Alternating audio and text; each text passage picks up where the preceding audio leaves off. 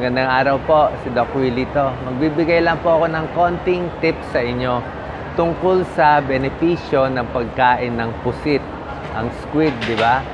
Kung mahilig kayo sa mga seafood, sa tingin ko ang pusit ang isa sa pinaka-healthy.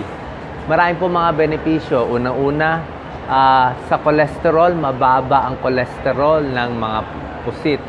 Alam natin, pag seafoods, di ba, mataas ang cholesterol, mga alimango, ulo ng hipon, iniwasan natin. Pero kung ah, pusit, okay lang to kasi hindi ganun kataas ang cholesterol. So that's one. So maganda rin siya sa puso. Pangalawa, mataas sa protina ang squid. High protein siya. So pampalakas ng katawan, sa mga nag-exercise, may benefit to.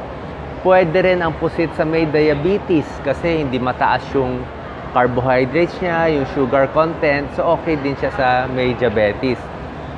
At ang pusit, mataas po sa minerals ayon sa mga pag-aaral. Anong mga mineral? Copper. Mataas sa copper, kailangan niya sa dugo bukod sa iron.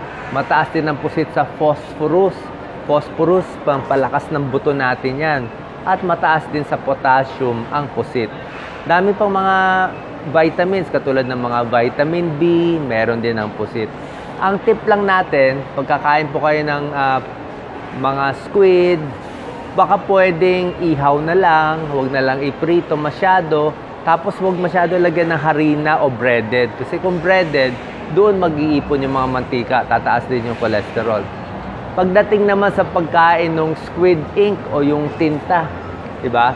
Actually, sa mga pag-aaral, may konting benepisyo yung tinta. Ah, mataas siya sa dopamine, antioxidants. Ang dopamine, yan yung ah, para maging mas excited. Ah, may tulong din yan.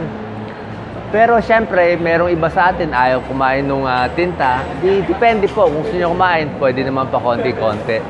Ah, nag-shoot lang tayo dito kasi nakita natin dito sa baba eh. Galing tayo sa Negros eh.